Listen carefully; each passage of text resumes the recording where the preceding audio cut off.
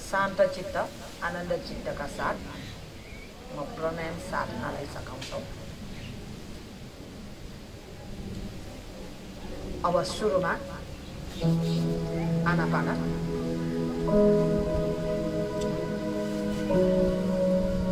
गहिरो श्वास तान्नुहोस् पेट फुलाउनुहोस् श्वास छोड्नुहोस् पेटलाई टस्काउँदै जानुहोस् फेरि श्वास तान्नुहोस् पेट फुलाउनुहोस् सकेसम्म श्वास छोड्नुहोस् पेट टस्काउँदै जानुहोस् तान्नुहोस् छोड्नुहोस् तान्नुहोस्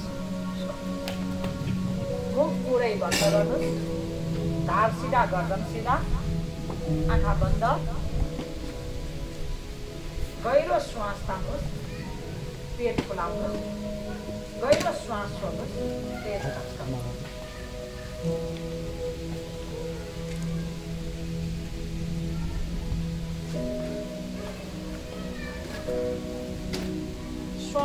जानुभन्दा आफूभित्र शक्ति प्रवेश भएको श्वास छोड्दै जाँदा शरीरका सम्पूर्ण रोग बाहिर निस्केको कल्पना गर्दै जानु प्रत्येक श्वासको गहिराइमा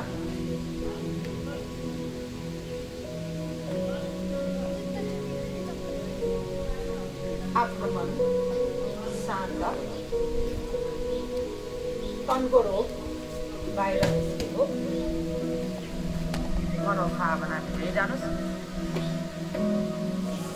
सम्पूर्ण विकारहरू बाहिर निस्किँदै गएको मनोभावना दिँदै जानुहोस्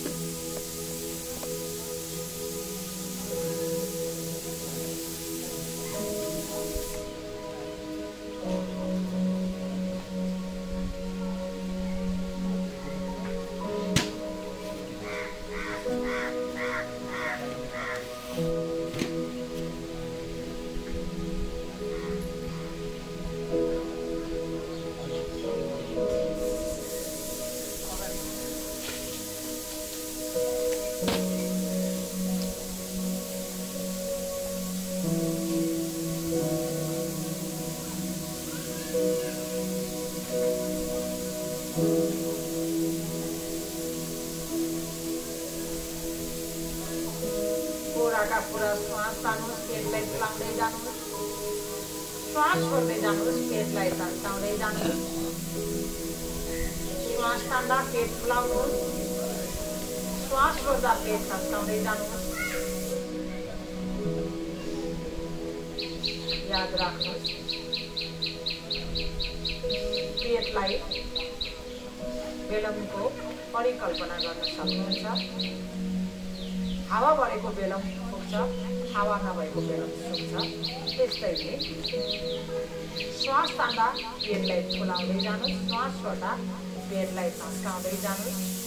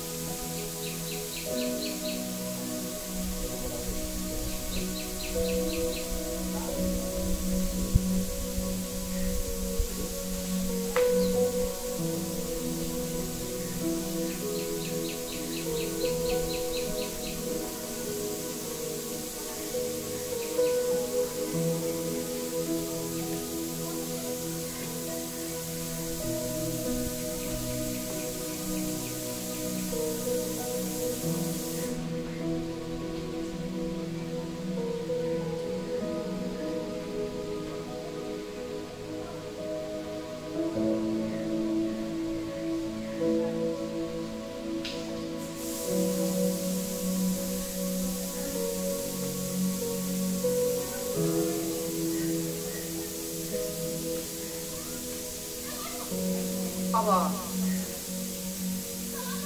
कपालभाती प्राणायाम पेट तान्दै श्वास छोड्दै पेट तान्दै श्वास छोड्दै एक सेकेन्डको दुईपल्ट यदि उच्च रक्तचाप छ पानीको सम्बन्धी समस्या छ हर्निया सम्बन्धी समस्या छ भने दुई सेकेन्डको एकपल्ट पेट तान्दै श्वास छोड्दै पेट तान्दै श्वास छोड्दै जानु।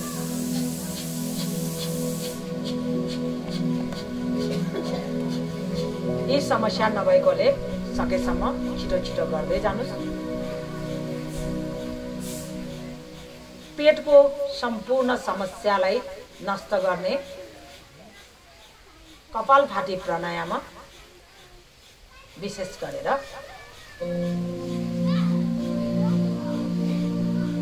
ग्यास्ट्रिकलाई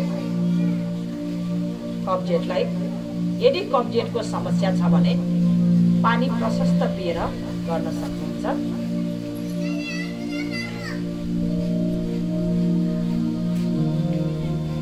र पेटमा अनावश्यक बोसो जम्मा भएकोलाई पनि नष्ट गर्न सकिन्छ। पेटलाई मजबुत गर्न सहयोग गरिन्छ। पाचनलाई स्वस्थ बनाउन सहयोग गर्छ। शक्ति जगाउन सहयोग गर्छ।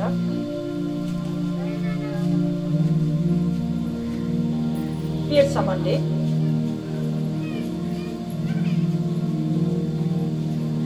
जस्तै पित्तथैलीमा बेरोलामा अन्य ठाउँमा चाहिँ नै मासु गर्ने समस्यालाई नष्ट गर्न सहयोग गर्छ।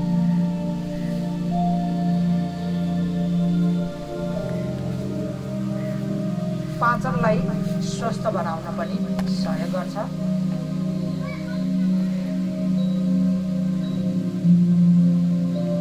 कपालभाती प्राणायाम हेभी भोजन गरेर चार घन्टा पछाडि हल्का भोजन गरेर दुई घन्टा पछाडि मात्र गर्नु मिल्छ ढाड सिधा गर्दन सिधा हुनैपर्छ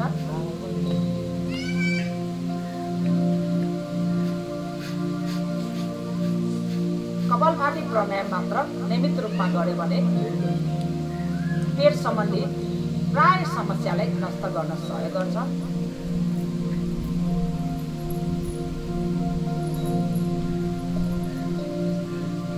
हाम्रो पेटमा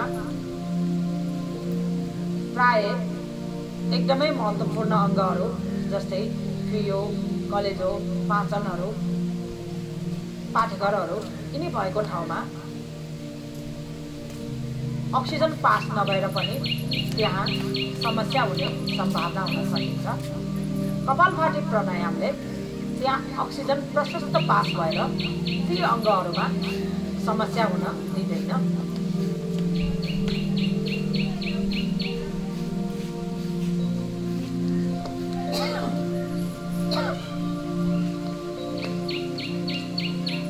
कपालभाती प्राणायाम सुरु सुरुमा पाँच मिनटबाट गर्न सकिन्छ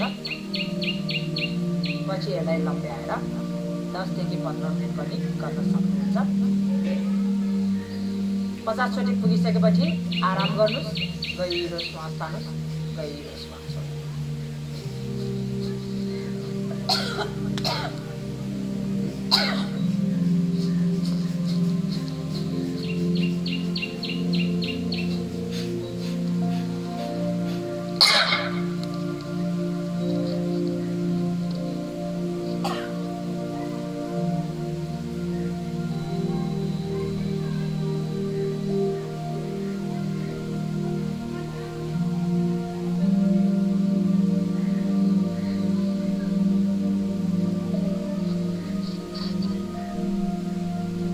पुराका पुरा पेटलाई सकेसम्म भित्र तान्नुहोस्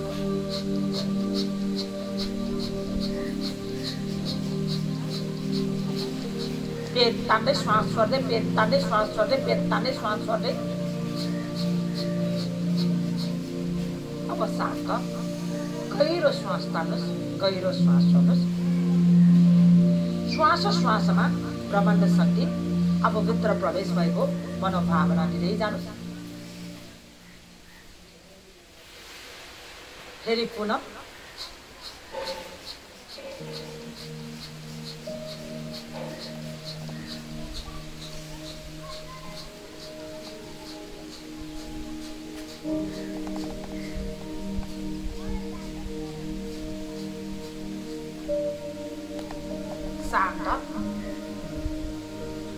श्वास श्वासमा आफ्नो पेटको सम्पूर्ण समस्याहरू नष्ट भएको ब्रह्माण्ड शक्ति शस्त्रा चक्र यानकी तालबाट भित्र प्रवेश भएको मनोभावना दिँदै जानुहोस् अब पुनः।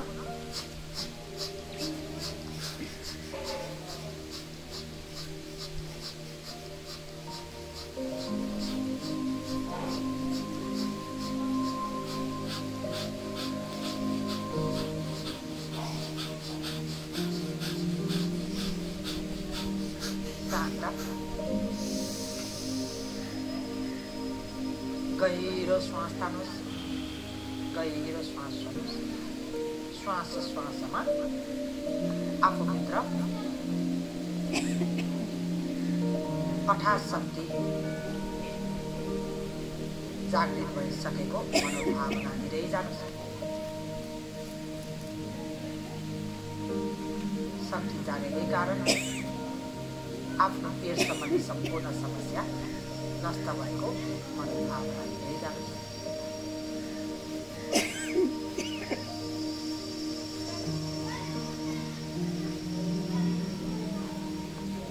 अब भस्टिका प्राणायाम छातीले मात्र श्वास तान्दै छोड्दै अघि पेट तान्दै श्वास छोड्ने हो भने अब तान्दै छोड्दै तान्दै छोड्दै गर्ने। एक सेकेन्डको दुईपल्ट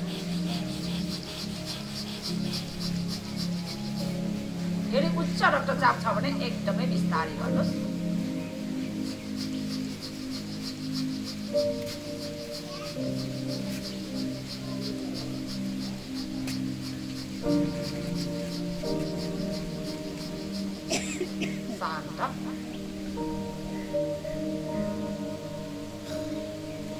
गहिरो श्वास गहिरो श्वास।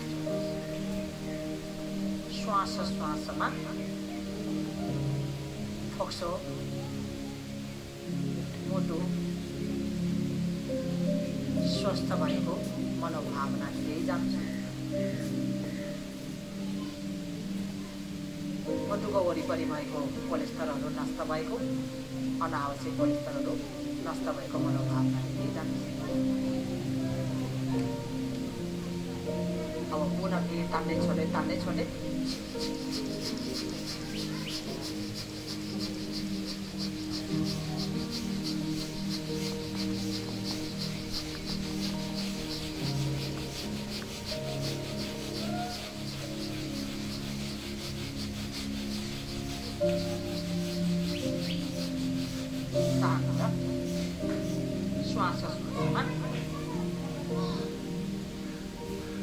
स्वर्णले सम्बन्धी समस्या नष्ट भएको। घाँटी सम्बन्धी समस्याहरू नष्ट भएको। इनार सम्बन्धी समस्या नष्ट भएको। मनोभावना दिँदै जान्छ। अब पुनः तान्दै छोड्दै तान्दै छोड्दै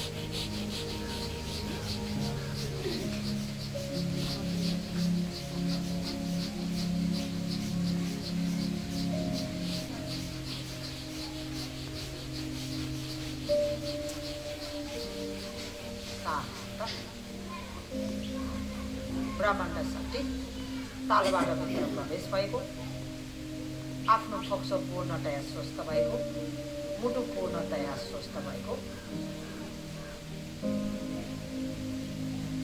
अनावश्यक कोलेस्ट्रलहरू नष्ट भएको थाइरोइड सम्बन्धी समस्याहरू नष्ट भएको स्वर्णले सम्बन्धी समस्याहरू नष्ट भएको जान्छ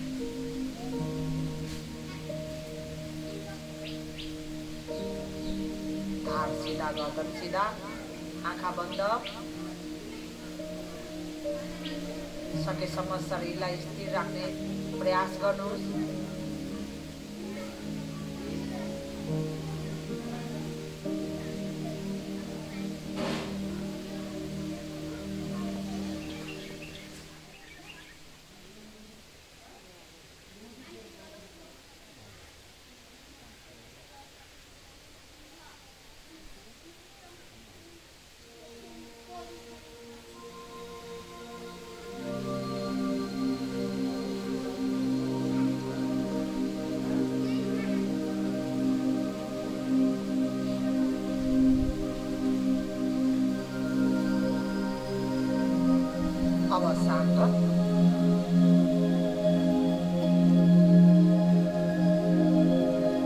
अगोचरी मुद्रा नाकको टुप्पोमा आँखा खोलेर एक टकले हेरिराख्नुहोस् आँखा झिमझिम गर्न पाउनुहुन्छ आँखाबाट आँसु आयो भने एकछिन बन्द गर्नुहोस् पुनः एक टक हेरिराख्नुहोस्